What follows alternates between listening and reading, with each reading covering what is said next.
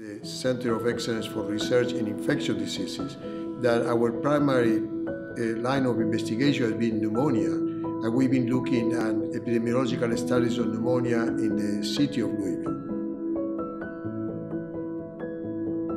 Initially, when we learned about this new virus causing pneumonia, if this were to be a new epidemic or a new pandemic, how are we going to be responding to this?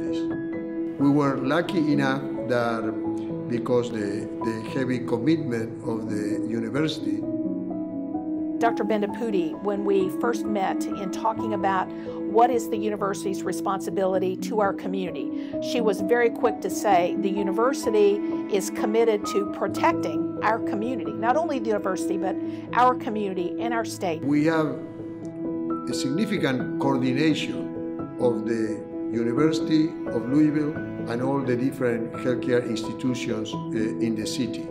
Our job as being the, the primary research, metropolitan research institution is that we need to have a vested interest, and we do have a vested interest in what happens in our community. One of the advantages of having a university is that you have all the network of uh, investigators and collaborators that are ready to participate.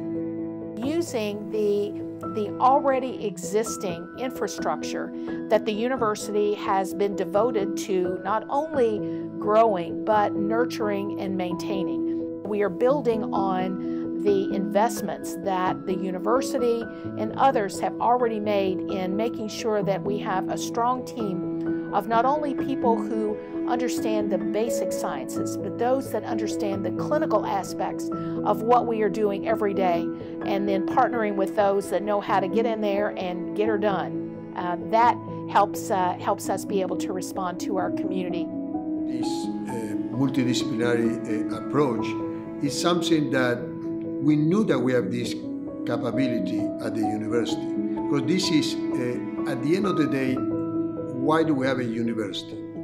Well, um, university places are very important for education, and there's no question that this is one of the primary roles. Another primary role of the university is research and generation of new knowledge.